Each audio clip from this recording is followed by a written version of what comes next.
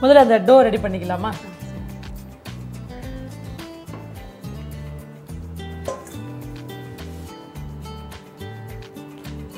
First கொஞ்சம் எள்ளு ஏலக்காய் தூள் ரவா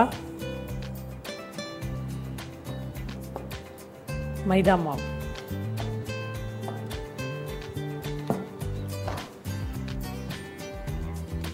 இந்த சுகர் பவுடர்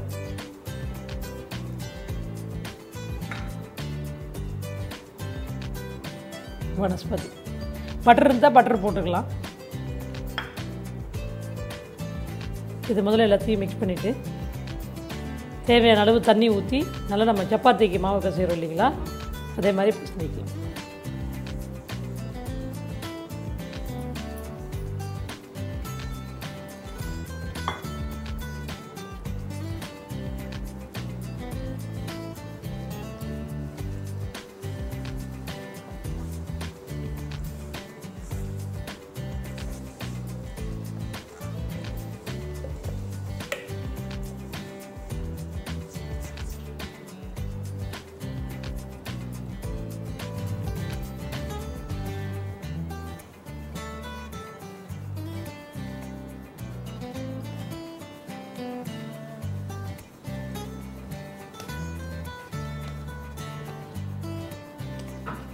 ஒரு பத்து நிமிஷம் இந்த டோ வந்துட்டு ஊறட்டும். அதுக்கப்புறம் நம்ம வந்துட்டு ஹீட்டு போட்டு கட் பண்ணி அப்புறமா ஆயிலில் ஃப்ரை பண்ண வேண்டியதுதான்.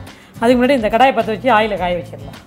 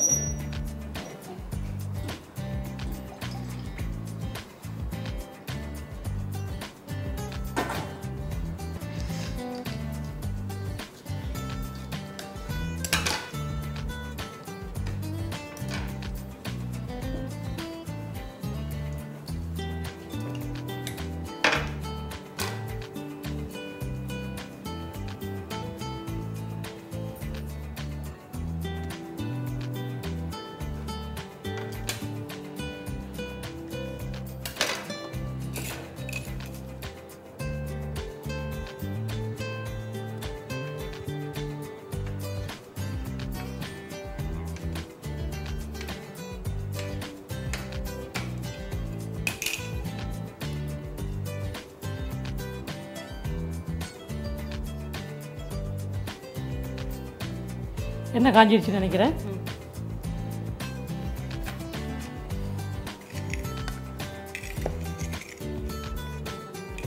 நம்ம அப்படியே அதில் போட்டு பொறிச்சு எடுக்க வேண்டியதுதான்.